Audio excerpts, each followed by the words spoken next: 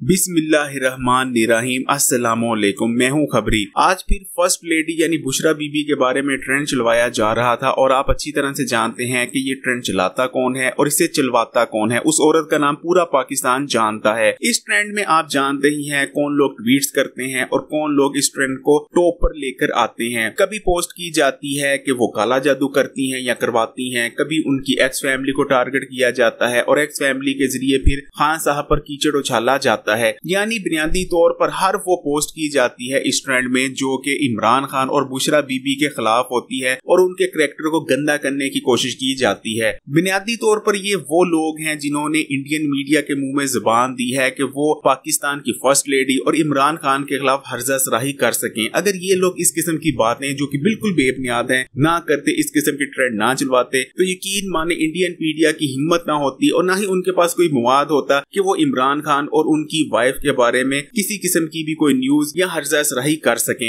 ये तमाम लोग जो इस ट्रेंड में बुशरा बीबी और इमरान खान के खिलाफ ट्वीट कर रहे हैं और उल्टी सीधी बातें कर रहे हैं, ये तमाम वही लोग हैं जब गरीदा फरूकी और जुबैर उमर के खिलाफ ट्रेंड चलता है और एक वीडियो सामने आती है जिसमें जो औरत है उसने सेम वैसे ही कपड़े पहने होते हैं जैसे कि गरीदा फरूकी पहना करती हैं। तो उस वक्त ये लोग कोई ट्वीट नहीं करते, बल्कि इस किस्म की ट्वीट इनकी जानब से आती है कि अगर कोई वीडियो लीक भी हुई है तो उस शख्स का पर्सनल मामला है। तुम लोगों को किसी की जाती या निजी ज़िंदगी में झांकने की ज़रूरत क्या है? यानी ये बिल्कुल मुनाफक लोग हैं। इन तमाम लोगों का सिर्फ़ एक मकसद है कि खान साहब को बदनाम किया जा सके। इसके अलावा इन लोगों का और कोई मकसद नहीं। इमरान खान और बुशरा बीबी के खिलाफ चलने वाले इस ट्रेंड को रोकने का सबसे बेहतरीन तरीका ये होता है कि आप इस ट्रेंड के हैश को यूज़ करते हुए नवाज़ शरीफ, मरियम नवाज़ और शबाज शरीफ के खिलाफ पोस्ट करना शुरू कर दें। खासकर मरियम नवाज़ और नवाज़ शरीफ के खिलाफ जैसे ही आप इस ट्रेंड के हैश को यूज़ करते हुए पोस्टिंग करना शुरू करेंगे, ये हैश टैग फौरी तौर पर बंद हो जाएगा और डोन जाने लगेगा, क्योंकि जो पीछे ताकतें होती हैं, वो आप जानते हैं कौन है, और जैसे ही उनके खिलाफ पोस्टिंग शुरू होती है, वो इस हैश टैग को जल्द से जल्द बंद करवाना चाहती है। वीडियो अच्छी लगी तो लाइक करें, और मजीद इस किस्म की वीडियो देखने के लिए खबरी यूट्यूब चैनल को सब्सक्राइब करके बेलाइकोन को दबा दें।